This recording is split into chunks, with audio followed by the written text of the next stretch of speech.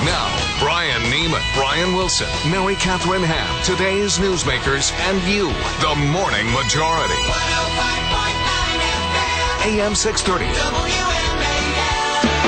638 on WMA. Let's get right to Las Vegas. ABC's Alex Stone is there. The terrible accident yesterday that uh, killed Dan Wheldon, an IndyCar driver at the Las Vegas Motor Speedway. Alex, we all remember when Dale Earnhardt died in that accident. What happened in this particular wreck?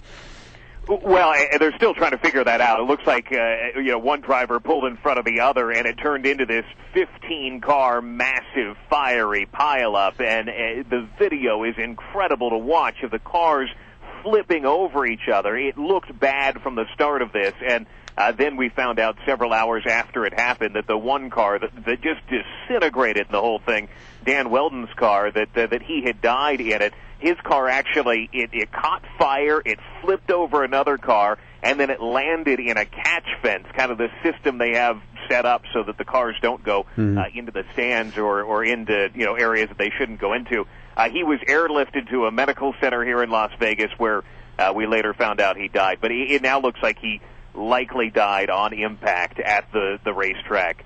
Uh, they, they tried everything they could to, to revive them. There was concern by some drivers that the track was too dangerous. What do they mean by that? Yeah, very much so. They're, they're talking today that they think that, uh, and they had been voicing the concerns before this race, that practice speeds over 220 miles an hour. I mean, imagine that going mm. 220 miles an hour in, in the Indy cars that are open cars, they're low to the ground. That they said they knew that, that if something bad happened, that uh, it was going to be deadly, and and that's what happened in this case. One of those people saying that is Danica Patrick, who uh, we all obviously know. She's reacting today. Very sad. Um, she's friend of all of us. Yeah, she's been very emotional. Like uh, a lot of the folks who have uh, come by and and laid flowers and and come by to see where where this happened here, and.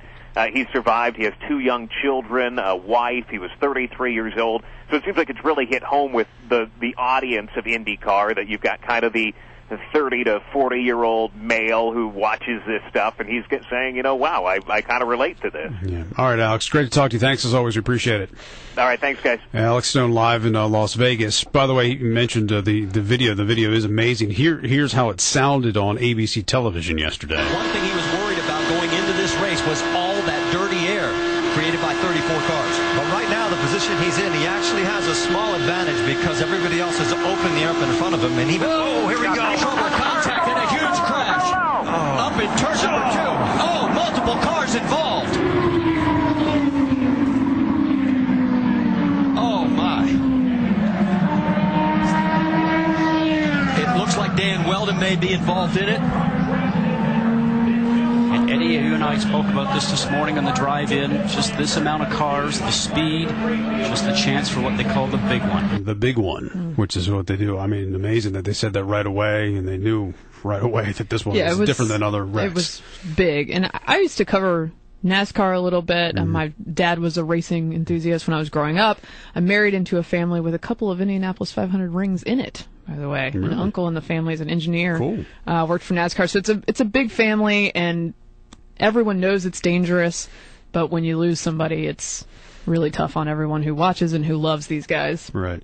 Well, it, you know, it's it's a double-edged sword in the sport because people like the wrecks. They like the swapping of paints. They like, right. You know, they don't want to see a car go around. Racing, yeah, that's say. right. They don't want to see a car just go around in a circle and it gets kind of boring. So they do what they can uh, to try and make it, you know, more exciting to the fans, and that is, you know, seeing cars race side by side, going around the turn side by side. Right. And uh, obviously, there were now, now we're hearing, uh, although uh, apparently there was some talk about this even before the race that maybe this track was a little bit too dangerous that the way they had it set up you were going to have maybe three to four cars lined up going around the turns at up to 200 miles per hour. You get one car that gets bumped the wrong way then yeah. you could have the big one and that's what happened in this case. Well the, yeah the speeds are so great in indy racing. It's just incredible so I, I mean, now they're going to have to probably you know pare that back, um, and you know this is, but it happens. You know, you don't want to see death. You don't you don't see death all that often in professional sports, but the sport you do see the most in is, is race car. and It still doesn't happen. Frankly, I'm surprised often. it doesn't happen more yeah. often. And usually these things do lead to some innovations, which on one hand, race fans get upset because it does slow down racing, but then you get some things like that little flip up thing on the NASCAR, NASCAR, that keeps right. it from flipping over, which they should have thought of like years ago, but it came up and finally got that instituted and saves a lot of lives. So.